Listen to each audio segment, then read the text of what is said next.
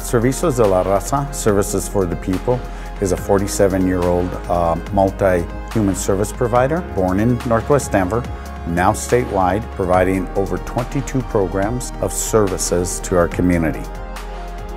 Our mission is to provide and advocate culturally responsive, essential human services and opportunities. We fill myriad gaps in our community, especially in our communities that are underserved, communities that are hard to reach, communities that are not getting services from government or from other nonprofits that are not culturally responsive or linguistically specific.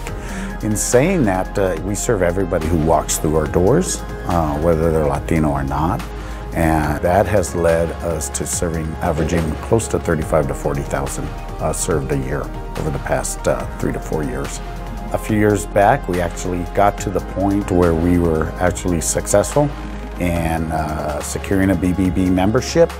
I think it speaks to um, the brand that BBB manifests, and that brand is trust, its integrity, and its honesty and quality. And so I think that's uh, that's why it was so important for Servicios de la Raza and this organization to be a member of BBB because uh, that's how we operate.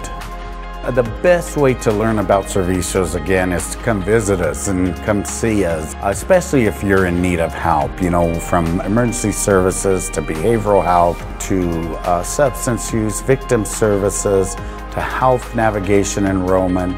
We're just a, a, really dynamic agency and we're always out doing outreach. We're always engaging our community in a lot of different areas and a lot of different locations.